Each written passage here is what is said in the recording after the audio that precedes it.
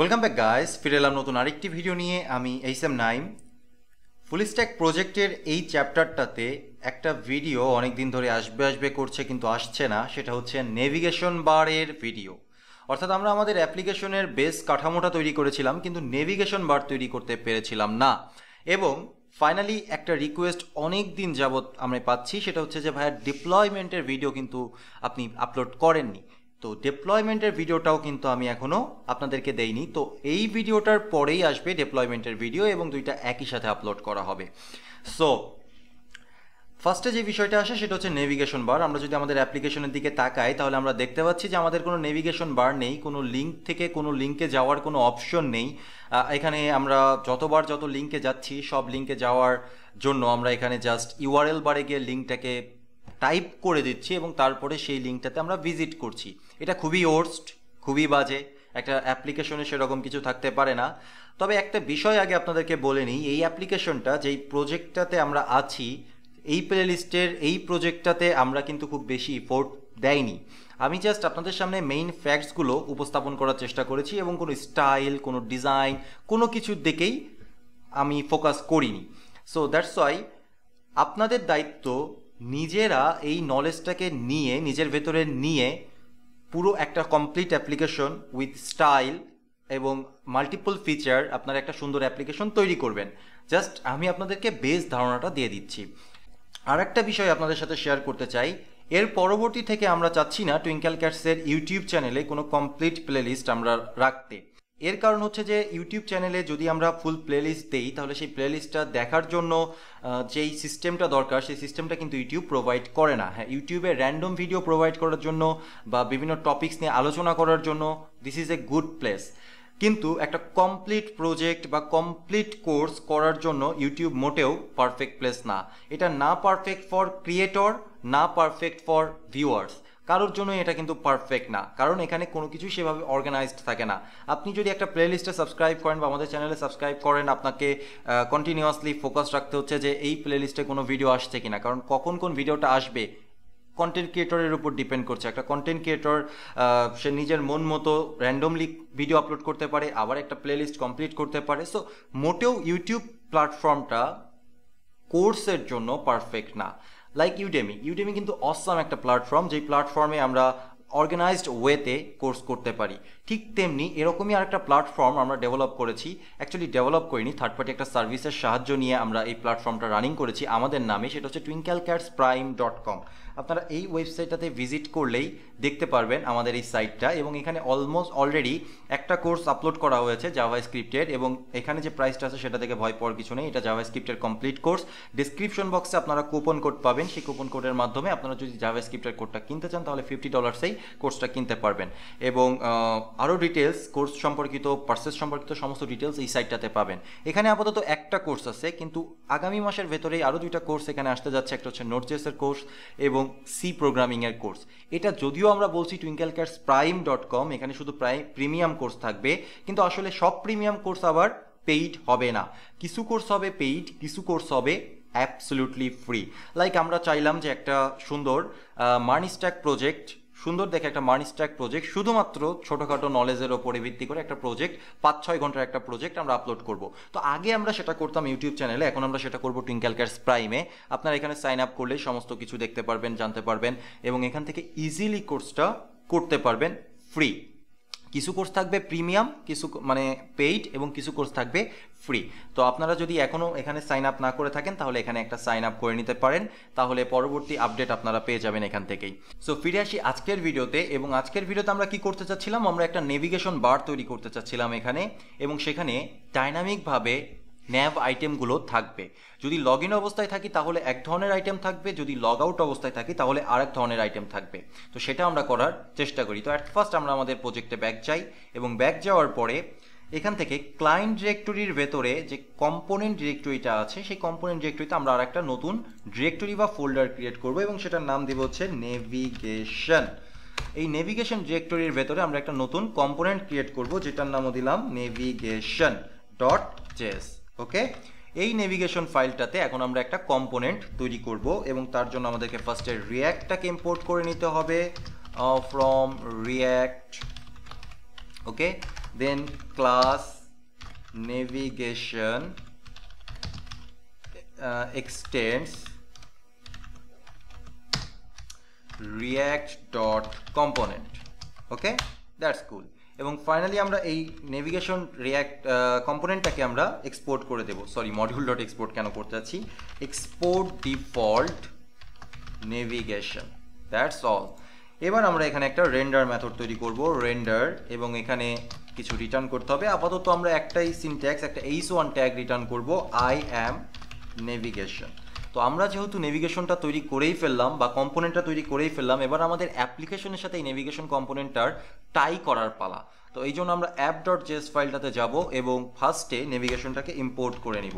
Import navigation from dot dot actually same ডিরেক্টরিতে আমরা আছি এবং এখান থেকে নেভিগেশন ডিরেক্টরিতে যেতে হবে এবং নেভিগেশন কম্পোনেন্টটা আমরা পেয়ে যাব।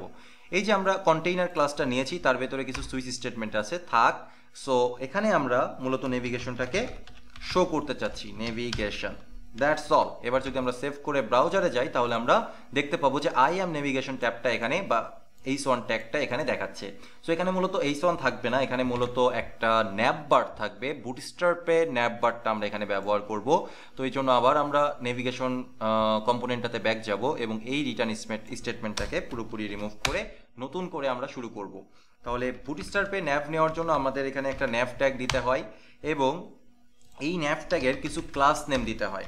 অনেকগুলো ক্লাস নেম অ্যাজ ইউজুয়াল আমার মনে থাকে না, তো আমাকে দেখে দেখে কাজটা করতে হবে। সেটা হচ্ছে ন্যাপবার ন্যাপবার এক্সপ্যান্ড ন্যাপবার ব্র্যান্ড না ন্যাপবার এক্সপ্যান্ড এলজি বা ন্যাপবার এক্সপ্যান্ড দিলেও চলবে।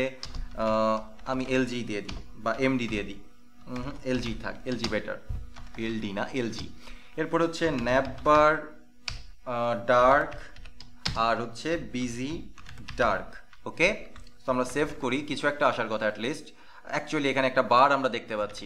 সো এরপরে যেটা থাকে, মূলত বুটিস্টার্পের নেভিগেশন বারে ন্যাপবার ব্র্যান্ড কিন্তু ন্যাপবার ব্র্যান্ডের সাথে থাকে হচ্ছে একটা অ্যাঙ্কর ট্যাগ এবং অ্যাঙ্কর ট্যাগ যদি আমরা এখানে ব্যবহার করি, তাহলে আমরা একটা হরিবল সিচুয়েশনে পড়ে যাব।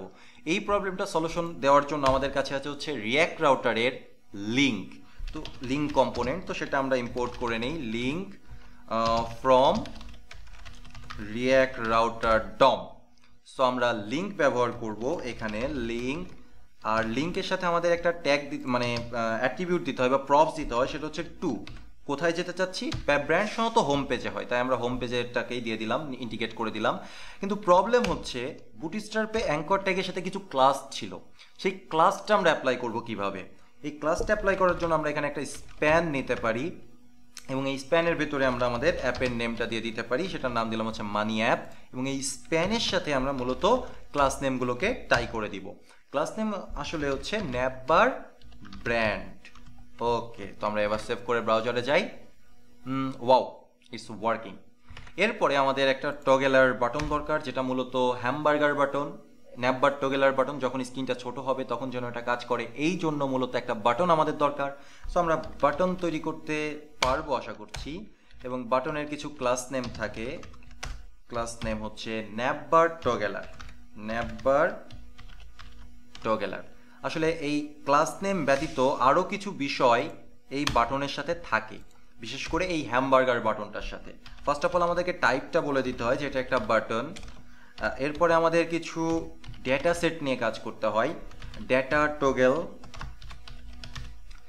ডেটা টোগেলটা আমাদেরকে বলে দিতে হবে অ্যাকচুয়ালি বানান আমি মিস্টেক করেছি টি ও জি জি এল ই ডেটা টোগেল হচ্ছে কল্যাপস এবং ডেটা টার্গেট বলে দিতে হবে আমাদেরকে।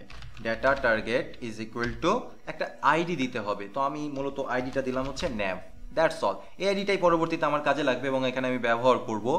এখানে আমাদেরকে একটা হ্যামবার্গার আইকন দিতে হবে এবং আইকনটার জন্য আমাদের বুটস্টার্প একটা সাপোর্ট দিয়ে রেখেছে স্প্যানের মাধ্যমে। স্প্যানের টেক্সটের ভেতরে আসলে কিছু লিখতে হবে না, এখানে ক্লাস নেম দিয়ে দিলে অটোমেটিক্যালি আইকনটা চলে আসবে। সো ন্যাপবার টোগেলার আইকন এই যে এটা ওকে দ্যাটস অল এবার আমরা সেভ করে ব্রাউজারে গেলে আসলে কিছুই দেখতে পারব না। যদি আমরা আমাদের স্ক্রিনটাকে একটু ছোট করি, তাহলে দেখতে পারব যে এখানে আইকনটা চলে এসছে। That's cool okay so finally আমাদের একটা ডিভ নিতে হবে, যে ডিভের ভেতরে কয়েকটা লিস্ট এলিমেন্ট থাকবে। এবং এই ডিভেরও কিছু ক্লাস নেম আছে। সো আমি ক্লাস নেম দিয়ে দিলাম।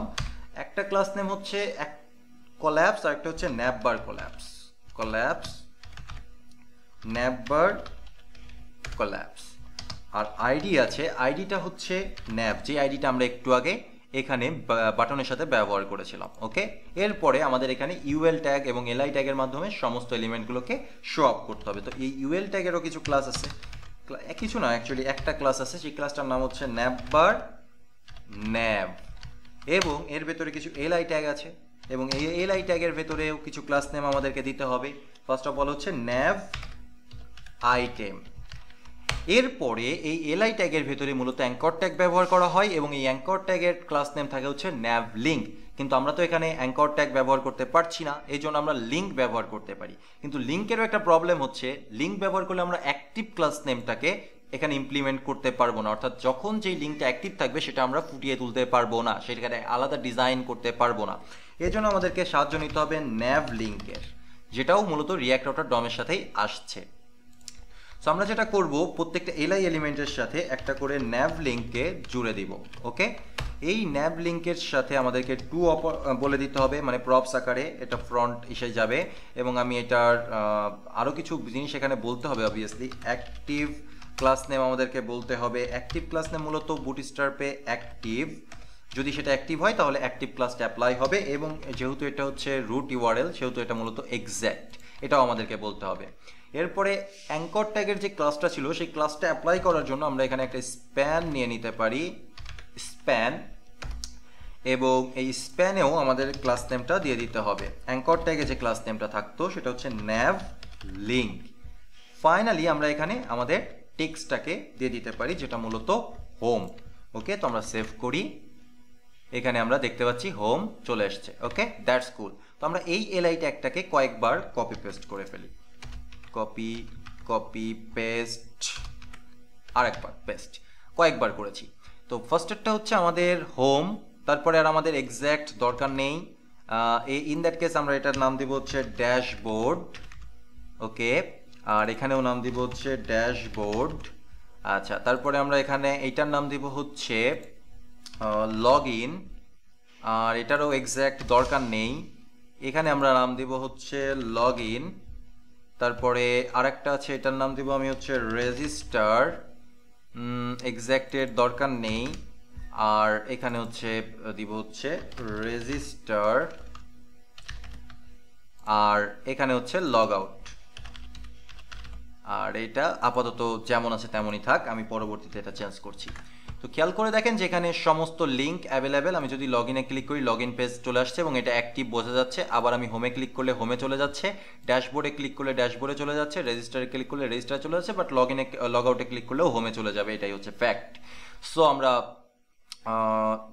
ড্যাশবোর্ডে ব্যাগ আসি। আসলে সবগুলো লিঙ্ক এখানে শো করার কথা না যদি লগ ইন অবস্থায় থাকে তাহলে হোম ড্যাশবোর্ড আর লগ আউট শো করার কথা। আর যদি লগ আউট অবস্থাতে থাকে তাহলে হোম লগ ইন আর রেজিস্টার শো করার কথা। এবার আমাদের ডাইনামিক কনসেপ্টটা ইমপ্লিমেন্ট করতে হবে।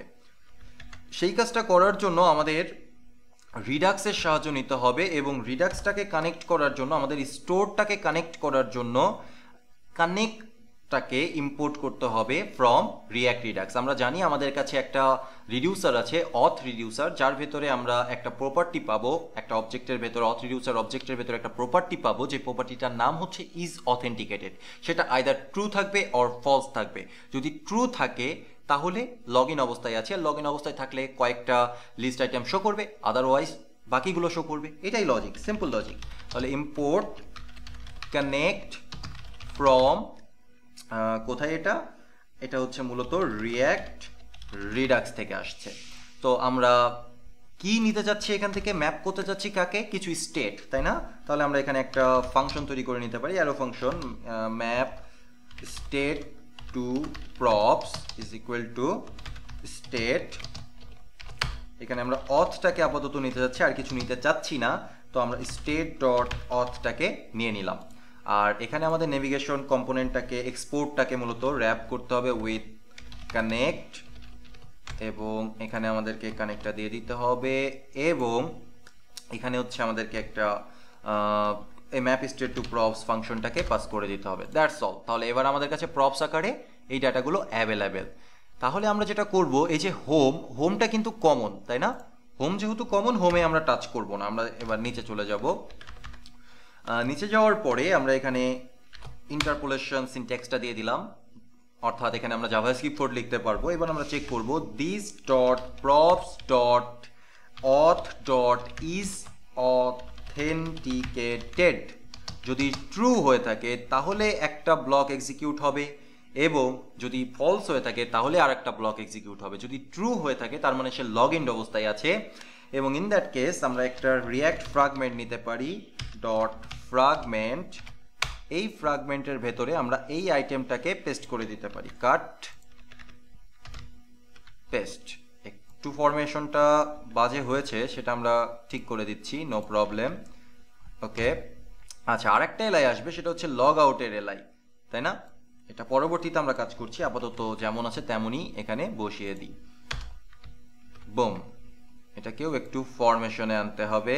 এই দ্যাটস অল আর যদি এটা সত্য না হয়ে থাকে, তাহলে কি হবে? তাহলে আরেকটা রিয়াক্ট ফ্রাগমেন্ট আসবে রিয়াক্ট ডট ফ্রাগমেন্ট এবং এই ফ্রাগমেন্টের ভেতরে বাকি দুইটা এলআই বসে যাবে। খুব সিম্পল লজিক এটাকেও একটু ফরমেশনে আনতে হবে। দ্যাটস কুল ওকে এই হচ্ছে আমাদের কাজ। এছাড়া তেমন কিছু নেই কাজ করার মতো। সো আমরা সেভ করি ব্রাউজারে যাই রিফ্রেশ হোক। এইবার দেখা যাচ্ছে যে আমরা যখন লগ ইন অবস্থায় আছি, তখন আমাদের হোম ড্যাশবোর্ড আর লগ আউট দেখাচ্ছে। আমরা লগ আউট করার সাথে সাথে লগ আউট বাটন আসলে কাজ করবে না। আসলে এখানকার লগ আউটটা এখনও কাজ করছে না। তো আমরা লগ আউট করার সাথে সাথে দেখেন যেখানে লগ ইন এবং রেজিস্টার দুইটাই চলে এসছে। আবার আমরা লগ ইন করি। এটা হচ্ছে test user zero two Gmail dot com আমি এই ভিডিওটা করার আগেই ইউজারটা ক্রিয়েট করেছি। সো তাই কোনো ট্রানজ্যাকশন নেই। সো ভয় পাওয়ার কিছু নেই। আবার দেখেন এখানে ড্যাশবোর্ড লগ আউট সব চলে এসছে। সো এই লগ আউট ফিচারটাকে এবার আমরা ইমপ্লিমেন্ট করব। আমাদের লগ আউটটা আছে মূলত ড্যাশবোর্ড কম্পোনেন্টের ভেতরে। না অ্যাকচুয়ালি হোম কম্পোনেন্টের ভেতরে বা হোম পেজের ভেতরে। সো আমরা পেজে চলে গেলাম। এখানে দেখতে পাচ্ছি যে এখানে একটা বাটন আছে। সেই বাটনটা লগ আউটটাকে নিয়েছে এবং এই লগ আউটটা আসছে হচ্ছে অথ অ্যাকশন থেকে। এখানে যেমন আছে, যা আছে, সব আমি তেমনই রাখলাম। আপনারা আপনাদের মতো করে ফরম্যাট করে নেবেন। যেহেতু লগ আউটটা ইমপ্লিমেন্ট করতে একটু জটিলতা সৃষ্টি হতে পারে। দ্যাটস ওয়াই আমি লগ আউটটার ইমপ্লিমেন্টেশনটা দেখে দিচ্ছি। তো জাস্ট আমি কি করব? এখান থেকে বাটনটাকে কপি করে নিব। দ্যাটস অল আর কিছু করব না। কপি করে এবার আমরা নেভিগেশন যেসে চলে যাব এবং এখানে যে এল আইটা আছে, সেই এলআই এর ভেতরে যা কিছু আছে সব কিছুকে আমি এইটা না অ্যাকচুয়ালি এই এইটাকে আমি ন্যাবলিংটাকে পুরোপুরি আমি রিমুভ করে দেবো। দিয়ে এই বাটনটাকে আমি পেস্ট করে দিব। এখন কথা হচ্ছে এখানে বাটনের সাথে this dot props dot log আউটটাকে call করা হয়েছে। দ্যাটস মিন অথ অ্যাকশনস থেকে লগ আউটটাকে কোনো না কোনোভাবে ইম্পোর্ট করা হয়েছে। আগে সেটা ইম্পোর্ট করে নিই। ইম্পোর্ট সামথিং ফ্রম এটা কোথায় আছে? স্টোরের ভেতরে আছে। তাহলে অ্যাপ থেকে বের হয়ে স্টোরের কাছে আগে যেতে হবে এবং সেখান থেকে অ্যাকশনসে যেতে হবে এবং অথ অ্যাকশনসে যেতে হবে। এবং সেখানেই আমরা পাবো হচ্ছে আমাদের লগ আউট তো লগ আউট যদি পেয়ে যায়, সেটাকে আমাদের কানেক্টের সাথে কানেক্ট করে দিতে হবে সেকেন্ড আর্গুমেন্ট আকারে এবং এখানে আমরা অবজেক্ট আকারে কানেক্টটাকে দিয়ে দিব দ্যাটস অল এইবার আমরা কানেক্টটা ব্যবহার করতে পারব easily as a props but problem হচ্ছে this dot props dot history এই লগ আউট মেথডটা বা ফাংশনটা আর্গুমেন্ট আকারে হিস্টোরিটাকে নিয়ে থাকে। কিন্তু আমাদের নেভিগেশনের সাথে হিস্টোরির কোনো কানেকশন নেই। তাহলে এই হিস্টোরিটা আমরা পাবো কীভাবে? এটা পাওয়ারও সলিউশন আছে এটা পাওয়ার জন্য আমাদের যেতে হবে হচ্ছে রিয়াক্ট রাউটার ডমের কাছে, কারণ রিয়াক্ট রাউটার ডম আমাদেরকে উইথ রাউটার নামক একটা ফাংশন প্রোভাইড করে থাকে। যেই ফাংশনটা আমরা ব্যবহার করব, এই নেভিগেশনটাকে র্যাপ করার কাজে। মূলত এটা ফাংশন এটা higher order component with router higher order component দ্বারা আমরা নেভিগেশনটাকে যদি র্যাপ করে দেই, তাহলেই আমাদের প্রবলেমের সলিউশন হয়ে গেল। ওকে এবং everything is now clean and clear so আমরা সেভ করি। লগ আউট বাটনে ক্লিক করি, এটা স্টিল নাও একটা প্রবলেম দিচ্ছে। প্রবলেমটা হচ্ছে the this dot props dot log out is not a function wow still not এটা এখনও পর্যন্ত ফাংশন না। কেন ফাংশন না, সেটা আমাদেরকে একটু খুঁজে বের করতে হবে। ও সরি সরি সরি এখানে আমি কানেক্টটাকে পাস করেছি। কিন্তু আমি এখানে কানেক্টটাকে পাস করব কেন? এখানে আমি পাস করব log আউটকে okay that was the main problem এইবার আমরা লগ আউট বাটনে ক্লিক করার সাথে সাথে সেটা লগ আউটও হয়ে গেল এবং আমাদেরকে লগ ইন পেজে নিয়ে আসলো। এখানে দেখেন লিঙ্কগুলো সঠিকভাবে কাজ করছে রেজিস্টার লিঙ্কটা কাজ করছে না হোম লিঙ্কটা কাজ করছে না লগ ইন পারফেক্টলি কাজ করছে। আচ্ছা এখানে কিছু প্রবলেম এখন আমরা দেখতে পাচ্ছি অ্যাক্টিভ ক্লাসের ক্ষেত্রে। প্রত্যেকটাতে অ্যাক্টিভ ক্লাস দেওয়া আছে, তারপরেও অ্যাক্টিভ ক্লাস শুধু লগ ইনই থাকছে but why I don't know আচ্ছা এবার হোমে আসছে লগ ইন এবার লগ ইনটা কিন্তু আবার ইয়ে আসছে না। প্রথমবার যেটা করছি শুধুমাত্র সেটাই অ্যাক্টিভ থাকছে। সো এটা নিয়ে আমাকে আবার একটু দেখতে হবে এক্স্যাক্টলি কেন এটা হচ্ছে। অ্যাজ ইউজুয়াল বুটস্ট্র্যাপ নিয়ে এই কাজটা করা হয় না, কারণ এর থেকে বেটার ফ্রেমওয়ার্ক আছে। দ্যাটস ওয়াই প্রবলেমটা এখনও আমি ইনস্ট্যান্টলি আপনাদেরকে বলতে পারছি না যে কেন এই প্রবলেমটা হচ্ছে।